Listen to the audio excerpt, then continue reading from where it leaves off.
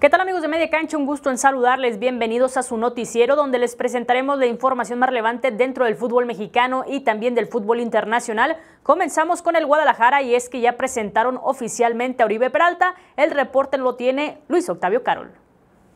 Hoy la gente del Guadalajara presentó a Oribe Peralta en las instalaciones del estadio Akron. Oribe viene comprometido en búsqueda de hablar dentro del terreno de juego y quitar especulaciones de su pasado con las Águilas. Creo que a la afición lo único que les puedo más que decirle, más que hablarle, lo tengo que demostrar. Y, eso se hace dentro de la cancha. Entonces, es, mi única forma de, convencerlos de que, no están, de que los señores están equivocados. Entonces, no queda más que esperar a que, a que arranque esto y, llevar a, no solo, sino con mis compañeros y, y con el señor entrenador, a Chivas a donde se merece. Por su parte, José Luis Higuera aseguró que era momento de romper el tabú en cuestión de las compras que se puedan hacer con las Águilas de la América. Hay excepciones que se deben de hacer y Oribe Peralta es una de ellas. Hay tantas cosas positivas en donde ni por ego ni por un entiendo el ideal podemos dejar de hacer una excepción. Pero que quiere muy claro a la afición que esto no va a ser el día a día y nos vamos a estar fijando en jugadores americanistas. El hoy delantero del equipo del Guadalajara fue sincero y aseguró que un problema de seguridad fueron una de las causas que también le permitieron pensar en venir al rebaño. Para mediacancha.com, Luis Octavio Carol. Ahora es momento de escuchar al delantero de las Águilas del América, Henry Martín.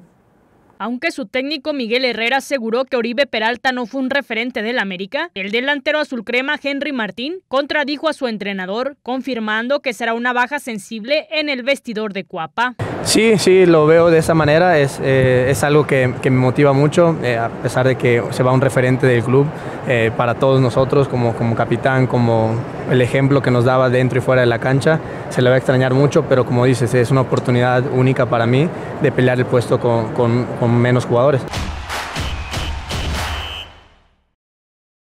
Por su parte, el directivo de la Federación Mexicana de Fútbol, John de Luisa, habló ante los medios. Es muy complicado, es una decisión entre las dos confederaciones. Nosotros obviamente vamos de la mano de la nuestra, que es eh, CONCACAF, pero también tendemos puentes para platicar con la CONMEBOL.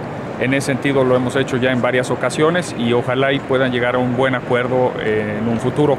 No lo vemos que sea en un futuro cercano, pero nosotros trabajaremos para impulsarlo así. A nosotros nos conviene tener tanto roce en CONCACAF como en competencias de CONMEBOL.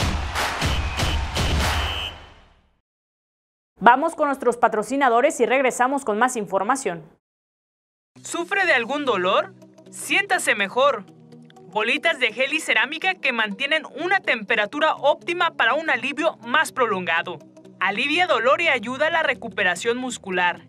Además, reduce hinchazón y la inflamación. Ya estamos de regreso y las Águilas del América dieron a conocer a su primer refuerzo. América hizo oficial la llegada del centrocampista Rubén González, procedente de los Rayos del Necaxa, para sumar a su primer refuerzo rumbo a la apertura 2019.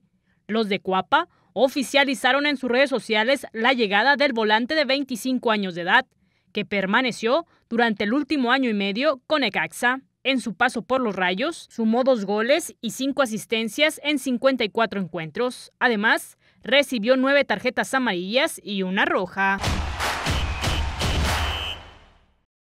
Por último, de manera inesperada, la selección de España cambió de técnico. La Real Federación Española de Fútbol anunció la salida del técnico Luis Enrique Martínez de la selección de España, cargo que ocupará Robert Moreno. En conferencia de prensa difundida en el sitio oficial, el presidente del organismo, Luis Rubiales, dio a conocer que el estratega español ha renunciado a su cargo por asuntos personales. Es una decisión del propio Luis Enrique que respetamos. No nos cansaremos de agradecerle el trabajo hecho. Aquí deja un recuerdo imborrable. Hasta aquí la información más relevante del día. Lo invitamos a que nos siga a través de nuestras redes sociales, guion bajo Media Cancha en Twitter y Media Cancha en Facebook. Continúe con nosotros.